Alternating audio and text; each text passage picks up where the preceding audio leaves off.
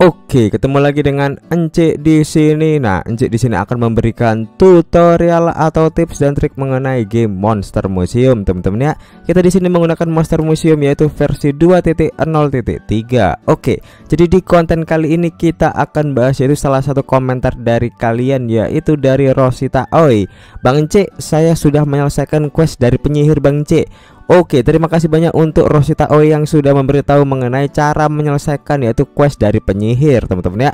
Oke, jadi di konten kali ini kita akan bahas yaitu cara menyelesaikan set quest penyihir atau witch di game Monster Museum versi 2.0.3, teman-teman ya. Buat teman-teman yang udah penasaran bagaimana cara menyelesaikan set quest dari penyihir atau witch di game Monster Museum ini, jangan lupa untuk selalu ditinggalkan like, komen dan subscribe dahulu. Sudah? Terima kasih banyak. Langsung aja kita masuk ke Monster Museum ya Untuk menyelesaikan yaitu set quest dari penyihir atau witch di game Monster Museum ini Langsung aja kita masuk ke Monster Museumnya. Let's go.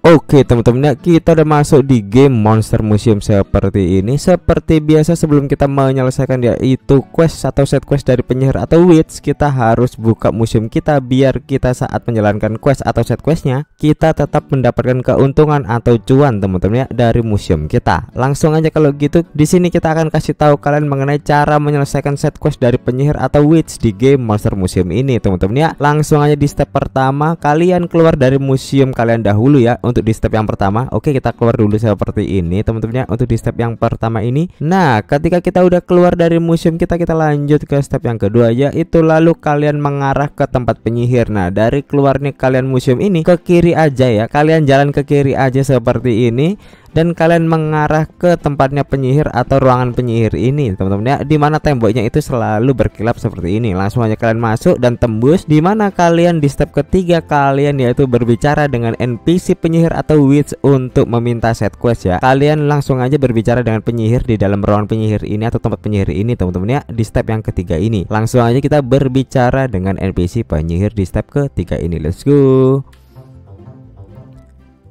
Loh You siapa? Kok you bisa masuk ke sini?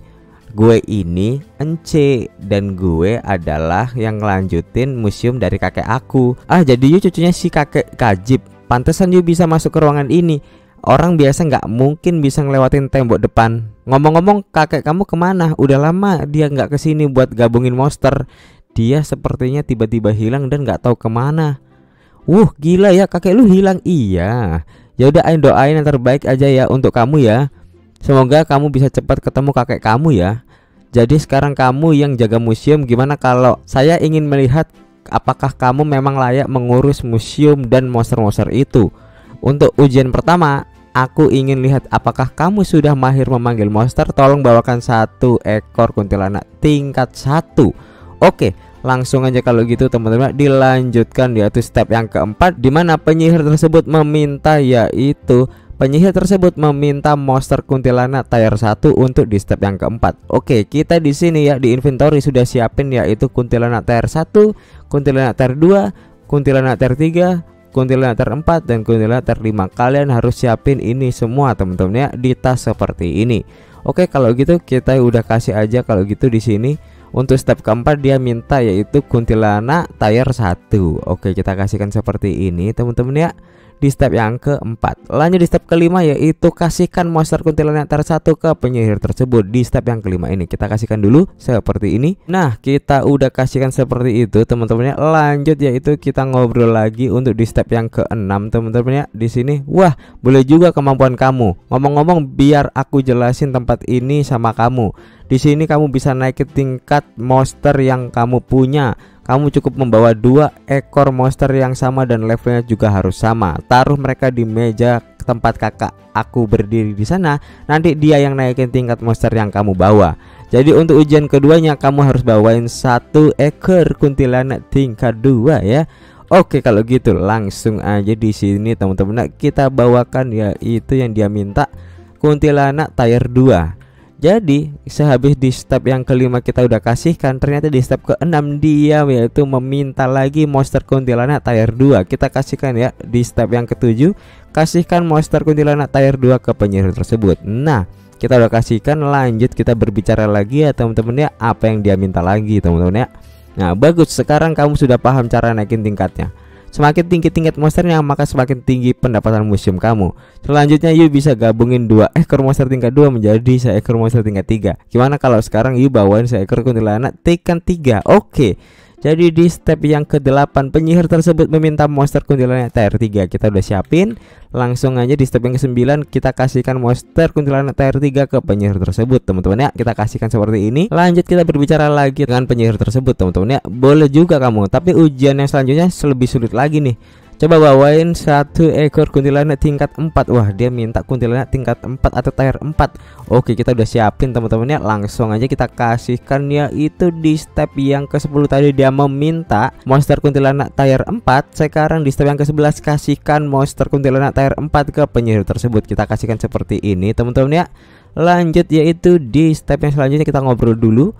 Nah di sini kita udah kasihkan yang 4 fantastis. Nah sekarang ujian terakhir yaitu seekor kuntilanak tingkat 5 Oke kalau gitu kita ternyata di step yang ke-12 dia meminta monster kuntilanak tier 5 teman-teman ya. Ternyata di poin ke-12 teman-teman ya. Lanjut aja di poin yang ke-13 di sini kita udah siapin yaitu kuntilanak tier 5 teman-teman ya. Di sini langsung aja kita kasihkan di step selanjutnya kasihkan dia itu monster kuntilanak tier 5 ke penyihir tersebut di step yang ke-13. Langsung aja kita ngobrol dengan penyihir ini kasihkan dan di step yang ke-14 lalu kalian berbicara lagi dengan NPC penyihir tersebut teman-teman ya. Nah, ini dia step yang ke-14 keren juga kamu pantasan kakek kamu memilih kamu untuk nerusin museum itu. Yo ilah ya udah ambil nih semoga bisa bantu museum kamu. Oke mantap sekali. Kita berhasil yaitu mendapatkan 10 kristal lalu dapat 250.000 LP dan 5 essence langka. Dibilang ini untung atau malah rugi? Ini dibilang sangat untung Karena dapat kristal 10 Terus essence langka dapat 5 yang rugi cuma di LP tapi nggak masalah karena LP dapatnya gampang dari grinding doang jadi kita di sini bisa dapetin yaitu kristal 10 sama essence selangka ini 5 lumayan gacha untuk legendaris ya untuk monster kita oke kita langsung aja ambil teman-teman untuk hadiahnya jadi seperti itu aja teman-teman ya. Di sini kalian harus siapin yaitu monster kuntilanak tier 1 sampai tier 5 yang udah ada di inventory seperti aku tadi ya, teman-teman ya. Oke, jadi seperti itu aja mengenai konten kali ini di mana untuk kalian harus menyelesaikan set quest penyihir atau witch di game Monster Museum teman-teman ya. Jika konten ini sangat bermanfaat dan bikin kalian paham untuk menyelesaikan yaitu set quest dari penyihir atau witch di game Monster Museum Jangan lupa untuk selalu ditinggalkan like, komen, dan subscribe. Sampai jumpa di konten selanjutnya dan bye-bye semuanya. Terima kasih banyak. Akhirnya kita sudah selesai yaitu set quest yang kita cek. Coba ada nggak ya lagi? Nggak ada kan Wah, terima kasih banyak semuanya. Bye bye.